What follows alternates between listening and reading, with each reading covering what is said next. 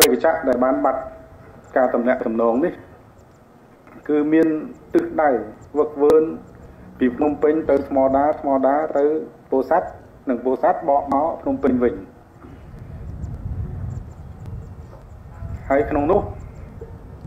ហើយខ្ញុំក៏មិនទាន់ថាសន្និដ្ឋានយ៉ាងណាទេប៉ុន្តែក្នុងបេសកកម្មរបស់យើងនេះគឺមានអ្នកបើកបរអ្នកបើក ជំនាញ pilot យើងមួយនិងជំនួយការម្នាក់មានតែពីររូបតែប៉ុណ្ណោះដែលបានវឹកវើហោះហើរ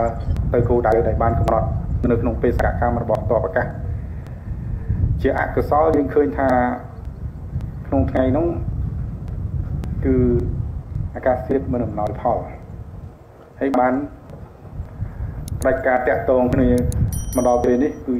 ចូលថ្ងៃទី2ហើយ ហើយក្នុងនោះយើងកំពុងតែកងអង្គភាព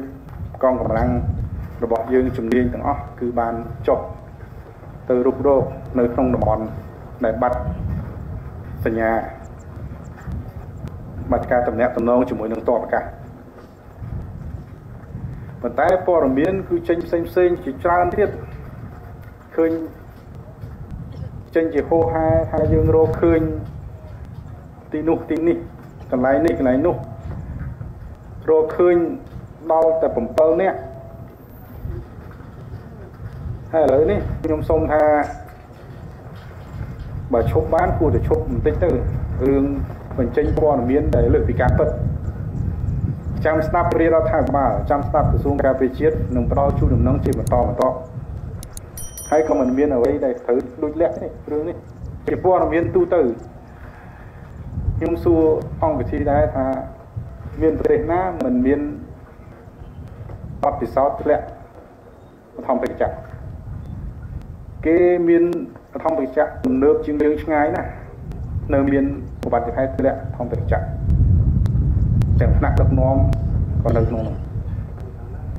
ហើយនៅក្រសួងការពិជាតិបានបញ្ជាក់ហើយថាជាការវឹកវើហើយជួបនឹងអាកាសធាតុនៅអំណោយផលវាអាច